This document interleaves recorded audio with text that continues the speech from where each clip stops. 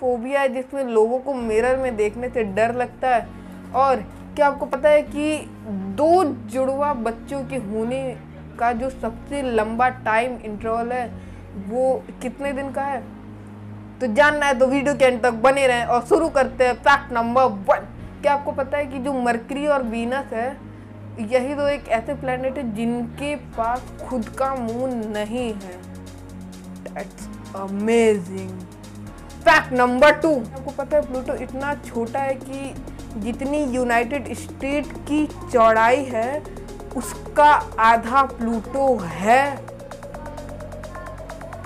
आप इस इमेज को देख लीजिए, आपको इससे खुद ही पता चल जाएगा फैक्ट नंबर थ्री क्या आपको पता है कि हमारे मुँह में इतना सिलाइवा एक दिन में प्रोड्यूस होता है कि वो एक साल में एक स्विमिंग पूल भर सकता है?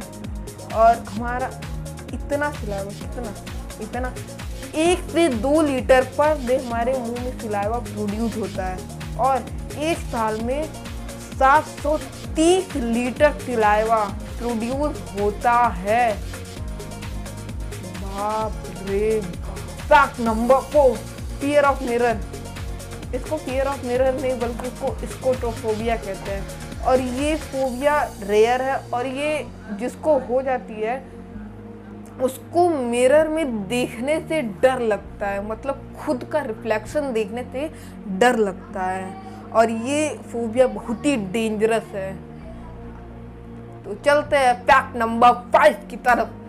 तो दो जोड़ों बच्चों के होने का सबसे लंबा टाइम डिफरेंस कितने दिन का है?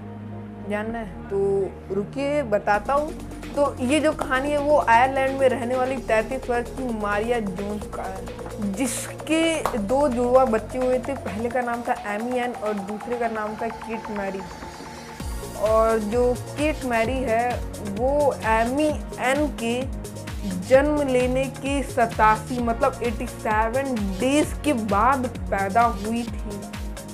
और इसका एकदम करेक्ट एकदम करेक्ट जो टाइम डिफरेंस है, वो है 87 डेज़ वन आवर 45 मिनट और जो एमियन है, वो 1 जून 2012 को पैदा हुई थी और जो केट मैरी है, वो 27 अगस्त 2012 में पैदा हुई है।